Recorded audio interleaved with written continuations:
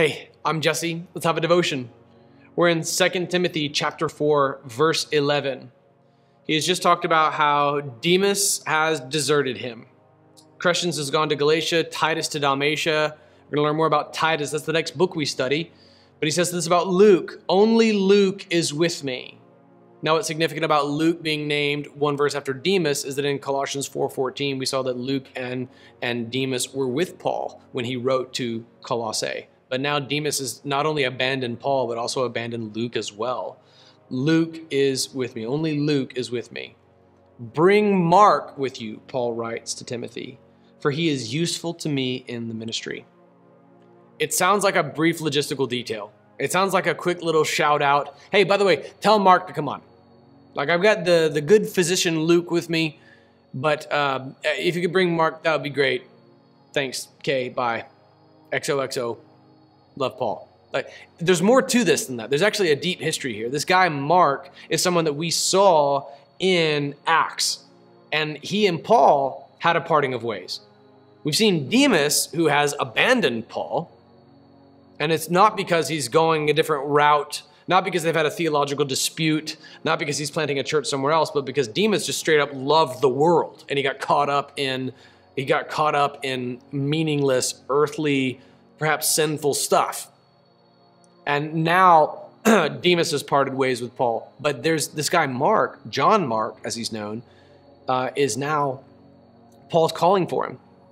In his final letter, here at the end of his life, he's reconciled with John Mark. Here's what happened in Acts chapter 15, beginning in verse 36. After some time had passed, Paul said to Barnabas, Let's go back and visit the brothers and sisters in every town where we have preached the word of the Lord and see how they're doing. Barnabas wanted to take along John Mark, but Paul insisted that they should not take along this man who had deserted them in Pamphylia and had not gone on with them to the work. They had such a sharp disagreement that they parted company. And Paul and Paul uh, uh, and, and Barnabas took Mark with them and sailed off to Cyprus. But Paul chose Silas and departed after being commended by the brothers and sisters to the grace of the Lord. He traveled through Syria and Cilicia, strengthening the churches.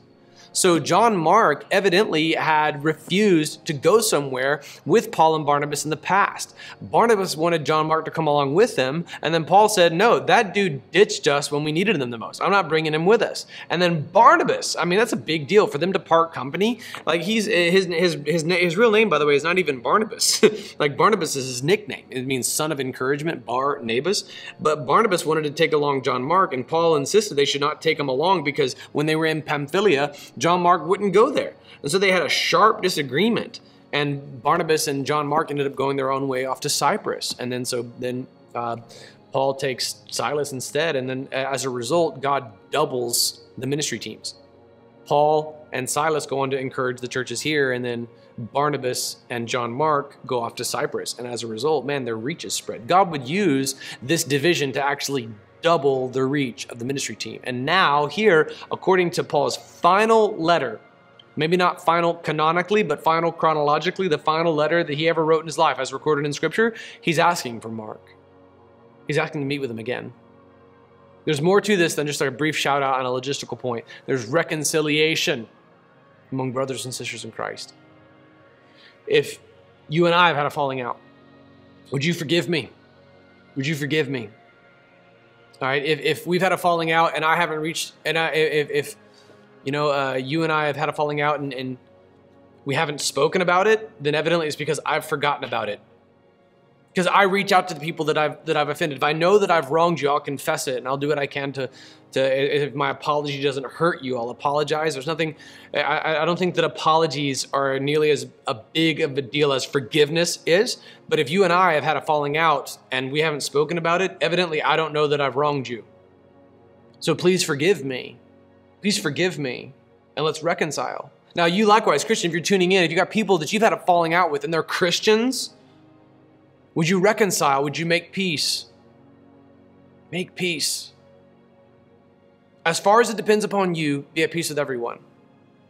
Which means that it's not always dependent upon you. Sometimes you can't help it. There's some people who are just going to hate your stupid guts no matter what you do. So just move on. That doesn't depend upon you. You can't make them like you. You can't make them forgive you. That's on that's between them and God. But as far as you are concerned, be at peace with everyone. And that largely entails forgiving the people who have wronged you. Sure, I mean, make recompense and make right, set things in order, apologize where necessary, um, by the way, if you're really hung up on, on, an apology and you're waiting on an apology, you're probably never going to get it because the person that has wronged you, that you think needs to come apologize to you, probably has no stinking clue. Isn't that the way it goes? The person that like you're really angry at is off on a cruise somewhere and happy as could be, eating from the Guy Fieri branded burger joint that's on the Lido deck, and he's happy as can be. He has no clue that just like ruined your life. That's the way it goes, man. The devil does that to us. So like, don't be all hung up on an apology because it could be that the person that has the person that has wronged you doesn't realize they've wronged you. They may have done it inadvertently. So don't be don't be hung up like, excuse me, I'm waiting on an apology. I'm waiting on, I'm trying to be at peace with everyone, but these idiots aren't apologizing to me. That's not the way it works. You forgive, and that's how peace is made. You apologize, but you don't expect apologies. And you don't bank too much on apologies either, by the way. There's nothing really biblical, there's not really a clear biblical mandate for you uh, for you that you are due an apology and people have to come apologize to you. No, we all have to apologize to God for our sin. We have to confess confess our sin before God. Rather, peace is made largely through forgiveness, where the aggrieved party forgives. That's where peace is made. That's how reconciliation happens.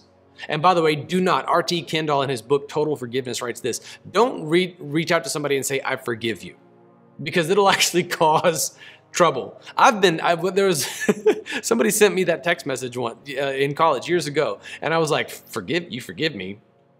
I haven't seen you in months. What are you talking about? like, I, and it, it, actually, I was actually all chapped about it, which is so funny because like I've never been anything but nice to you, idiot.